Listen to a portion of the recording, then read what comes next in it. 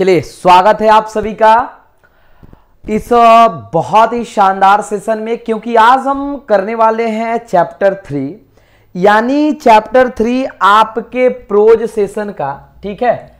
A pinch of snuff बहुत ही शानदार chapter a pinch of snuff a pinch of snuff का one shot video इससे पहले आप यदि दो chapter Bharat is Indian civilization and Bharat is my home नहीं देखे होंगे तो प्लीज़ जाकर उस दोनों चैप्टर को आप लोग देख लीजिए, उसका वन शॉट वीडियो। वो ज़्यादा नहीं, पंद्रह सत्रह मिनट का वीडियो है, और वो वीडियो आपको बहुत ज़्यादा कॉन्फिडेंस देगा, क्योंकि उसमें हमने ऐसे चीज़ों को एक्सप्लेन किया है कि आपको पढ़कर मज़ा भी आ जाएगा। क्वेश्चन यदि आप बनाइएगा तो एक भी ऐसा ऑब्जेक्टिव या सब्जेक्टिव क्वेश्चन है मतलब नहीं है जो आपसे नहीं बनेगा। ठीक है ना? तो चलिए, ज़्यादा वक्त नहीं लेंगे, हम स्टार्ट करते हैं अ पिंच ऑफ़ स्नफ का वन शॉट वीडियो इसमें मैं बताने वाला हूँ कैसा आपका ऑब्जेक्टिव क्वेश्चन पूछा जा सकता है, किस टाइप से सब्जेक्टिव पूछा जाता है, और जो भी हम बताएँगे मतलब जो भी इसमें एक्सप्लेन करेंगे, तुरंत आप जाकर जल्दी से ऑब्जेक्टिव बना लीजिएगा पूरे वीडियो को देखने के बाद। ओके लेट अस बिगिन तो सबसे पहले ए पिंच ऑफ़ स्नफ के राइटर कौन है? तो मनोहर मालगौनकर।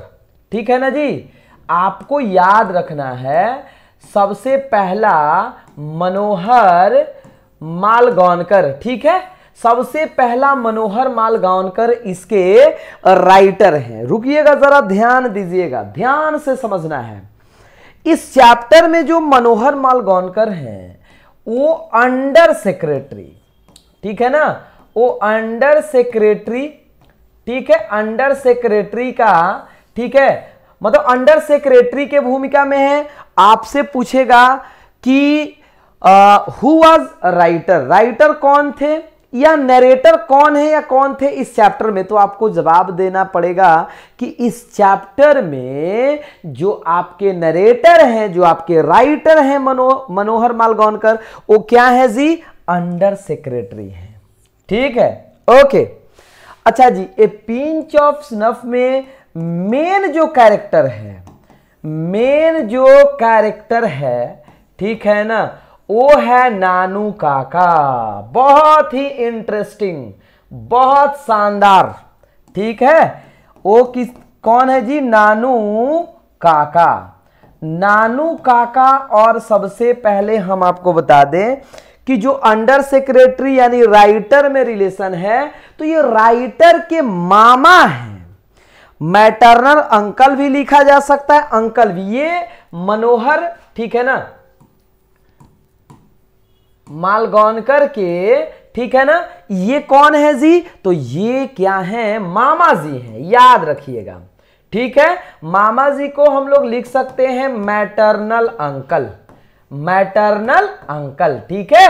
तो यहाँ से आपके क्वेश्चन पूछेगा सबसे पहला, a pinch of snuff is written by तो क्या जवाब होगा? Manohar Malgonkar Manohar Malgonkar has written the chapter तो आपका जवाब क्या होना चाहिए? फिर भी आपका मतलब वहाँ पर आपका जवाब क्या होना चाहिए?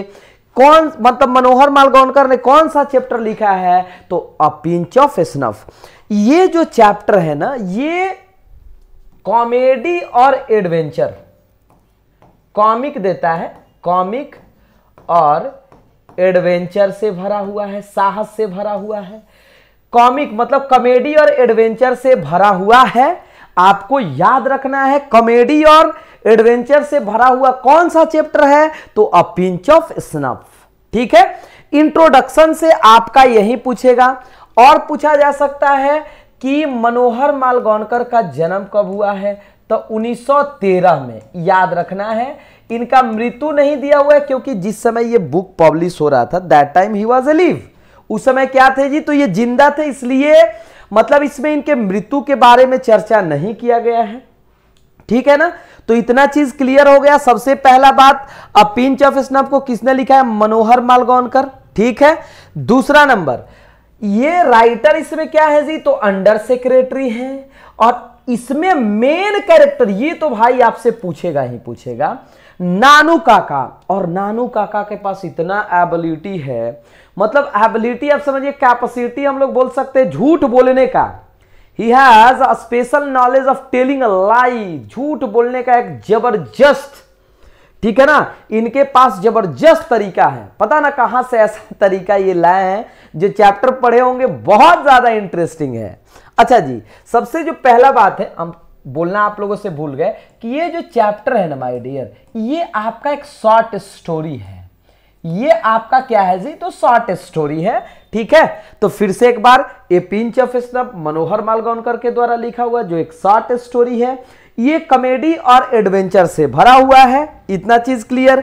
इसमें जो राइटर है मनोहर मालगौनकर ये अंडर सेक्रेटरी हैं, जो दोनों में रिलेशन रहता है। यहाँ पर ये राइटर के, यानी अंडर सेक्रेटरी के मामा जी हैं। मैटरनल अंकल है। कौन जी? नानू काका। ठीक है? इतना कोई दिक्कत नहीं है। इतना का आप जल्दी से चाहो तो स्क्रीनशॉट ले सकते हो। आइए हम लोग आगे समझते हैं। यहाँ स्टार्ट होता है अ पिंच ऑफ़ स्नफ का। ठीक है ना? A pinch of snuff start होता है। देखिए पिंच का मतलब और स्नफ का मतलब। पिंच का मतलब स्नफ स्नफ का मतलब आप समझिए ना वो खैनी टाइप का, जो खैनी का सबसे मतलब छोटा पार्ट बच जाता है ना तो उसको स्नफ बोला जाता है। ठीक है? और पिंच का मतलब ठीक है, अपना मतलब एक होता है ना, एक तरह से हम लोग कह सकते हैं चुटकी, एक चुटकी खैनी हम लोग इसको बोल सकते हैं। इसमें मेन कैरेक्टर जो है नानू काका का। सबसे पहले नानू काका का आगमन होता है किसके यहाँ? अपने बहन के घर। यानी हम लोग बोल सकते हैं, ठीक है, कि राइटर के घर, यानी मनोहर मालगौनकर के घर नानू काका का आगमन होता है। सबसे पहले मदर अनाउंस करती है। तो इस चैप्टर में ऐसा भी क्वेश्चन पूछा जा सकता है माय डियर स्टूडेंट कि किसने बताया था who okay who said that या हु इन्फॉर्म दैट ऐसे पूछ सकता है। योर नानू काका इज़ कमिंग किसने कहा था? तो राइटर्स मदर राइटर्स मदर यानी राइटर के माँ ने ऐसा इंफॉर्मेशन दिया था। ठीक है? राइटर के माँ ने दिया था इंफॉर्मेशन कि तुम्हारे नानू काका, तुम्हारे मामा और मेरे भाई का आगमन हो रहा है। ठीक है? ठीक है। लेकिन लेकिन ये मामा और भांजे का रिलेशन जो है ना, वो कोई बढ़िया नहीं रहता है। राइटर ये सोचते हैं कि मेरे मामा ना आए। क्योंकि वो जानते थे कि मामा यदि आएँगे तो I will get a lots of problem हमारे यहाँ भी जब रिलेशन में कोई आता है तो बहुत सारा प्रॉब्लम भी होता है कुछ रिलेशन से। और कुछ में हम लोग को फ़ायदा भी हो जाता है, खुशी भी होता है कि आएँगे तो हम लोग को थोड़ा बहुत पैसा भी मिलता है। ठीक है, आदमी छोड़ने के लिए उनको जाता है, दूर तक जब वो जाते हैं कि अंत में हमको कुछ पैसा मिल जाए तो बहुत बढ़िया है। ठीक है, चलिए आइए स्टोरी पर चलते हैं। देखिए जी तो ये नहीं चाहते हैं, लेकिन ये मदर से बोलते भी बोल दो कि हमने ये जगह चेंज कर दिया। हमारा दूसरे जगह ट्रांसफ़र हो गया है, क्योंकि ये अंडर सेक्रेटरी थे ना। लेकिन माँ ने बोला, नहीं बेटे, वो तो ऑलरेडी ट्रेन पर चढ़ चुके हैं। अब मैं उन्हें कैसे रोक सकती हूँ? और उसमें भी भाई थे इनके, और भाई और बहन का क्या प्रेम होता है वी नो वेरी वेल ठीक है? अब राइटर कहाँ पहुँचते हैं? अंडर सेक्रेटरी भी हम लोग बोल सकते अंडर सेक्रेटरी जहाँ हम बोलेंगे ना, वहाँ समझिएगा अंडर सेक्रेटरी कहाँ पहुँचते हैं? तो ये इनको लाने के लिए जाते हैं स्टेशन पर। सबसे पहला चला कि नानू काका सेकेंड सुनिएगा, नानू काका जो है ना, ये मतलब जो ट्रेन में जैसे मान लीजिए third first class second class third class होता है, ठीक है? तो ये सेकेंड क्लास से आते हैं। सेकेंड क्लास से ये आते हैं और इनके पास टिकट रहता है थर्ड क्लास का। समझिए, टिकट जो रहता है ना, टिकट, वो रहता है इनके पास थर्ड क्लास का। अब आप ही बताइए, कोई व्यक्ति सेकेंड क्लास से मतलब मान लीजिए आप जनरल का टिकट कटाकर स्लीपर से आ रहे मतलब ये आपका चलाकी है ना? देखिए तो ये भी पूछता है कि नानू का, का कौन से क्लास से आए थे? सेकेंड क्लास टिकट कौन से क्लास का था? थर्ड क्लास का। ठीक है? सबसे बड़ा क्वेश्चन आखिर नानू काका आए क्यों थे? है ना? नानू काका आए क्यों थे? तो नानू काका उनका एक ही मकसद था to see some ministers to see some ministers to meet some ministers कुछ मंत्रियों से मिलने के लिए। अब क्यों मिलने के लिए आए थे? ठीक है? क्यों मिलने के लिए आए थे? कैसे मिलते हैं? I will discuss each and every point ठीक है? स्टेशन पर ये गए। तो देखे कि मेरे मामा जी सेकेंड क्लास से आए थे। मतलब सेकेंड क्लास में बैठे, लेकिन बाद में उन्हें पता चलता है कि उनके पास थर्ड क्लास का टिकट था। वो टिकट कलेक्टर के सहारे आसानी से उनसे मिलने के लिए मतलब स्टेशन के बाहर आ जाते हैं। अब ये जैसे ही ठीक है, पहुँचते हैं जैसे ही, ठीक है ना? जैसे ही राइटर सेकेंड गियर में गाड़ी लगाने की कोशिश करते हैं, ठीक है ना? वैसे ही नानू काका पूछ देते हैं, तब भांजे when will you arrange to meet me arrange minister to meet me कब मुझे? मंत्रियों से मिला रहे हो। तो इस पर भांजे का तो मतलब एक समझिए कि मंत्रियों से मिलाना भांजे के लिए एक बहुत बड़ा काम था।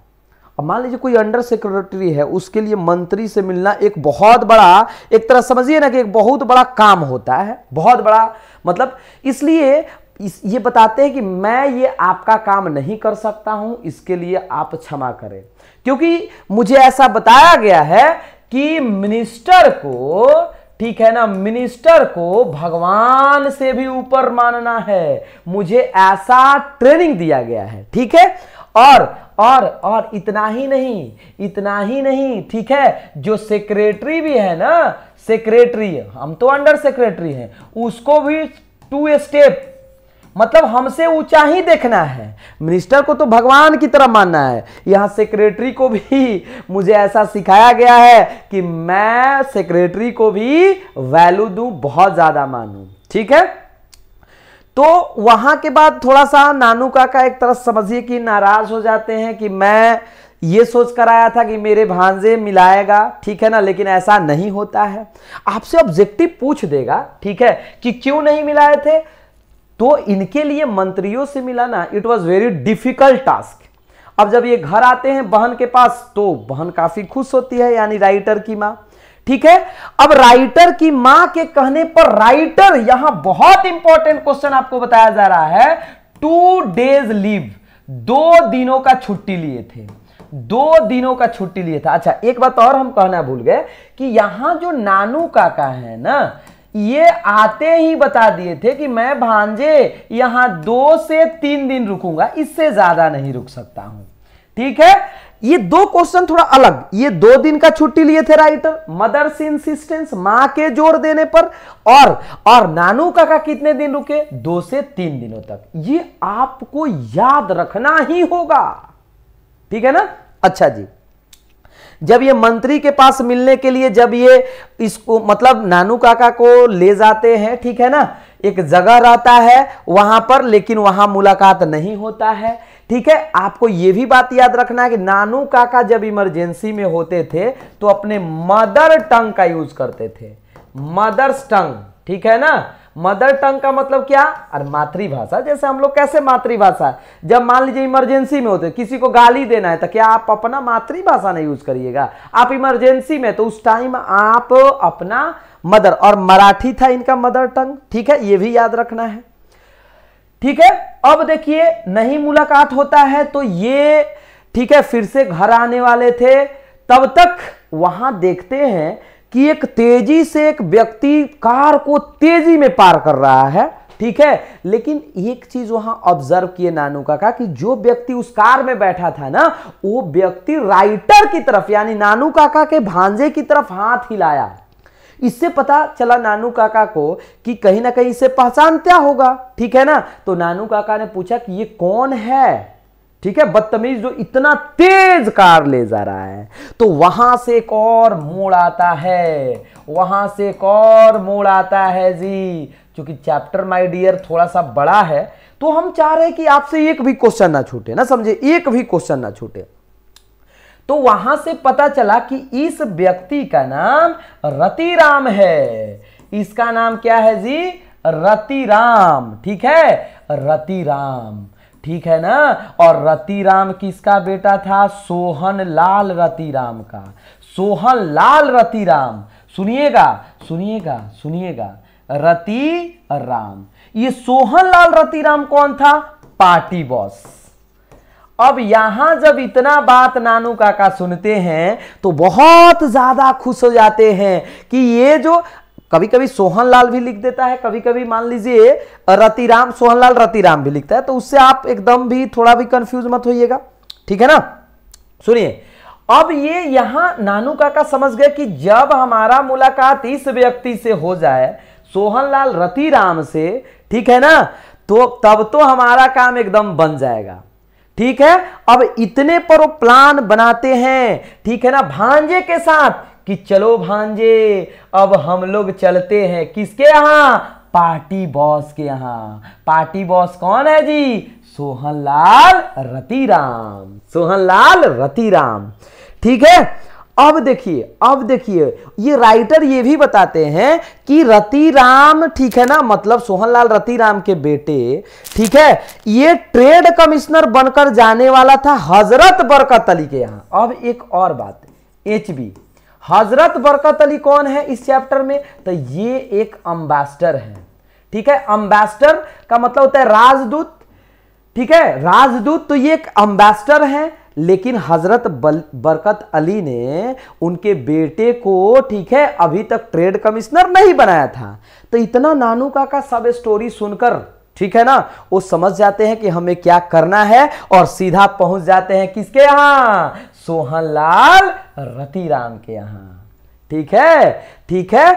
अब वहाँ जाते हैं जब, सुनिए उससे जाने से पहले, ठीक है राइटर राइटर किस ड्रेस में जाते हैं तो ये जोधपुर कोट।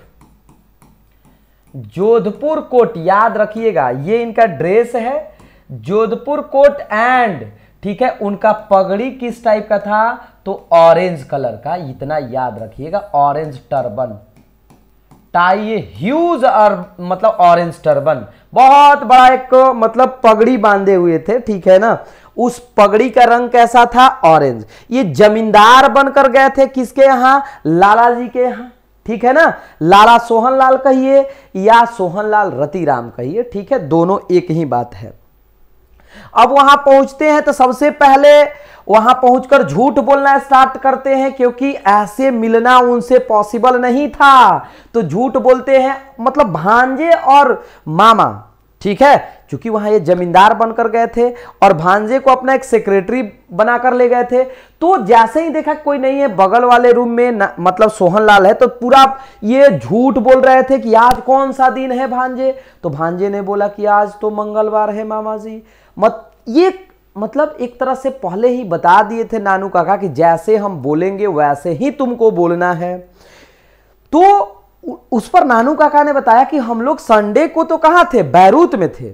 अब बात यहाँ बैरूत का हो रहा है, बात यहाँ बॉम्बे का हो रहा है कि मुझसे ये मिलने के लिए बोल रहा है, प्रेसिडेंट बोल रहा है, बॉम्बे से भी इसके तार पर तार भेज रहा है कि आइए हमसे मिलिए।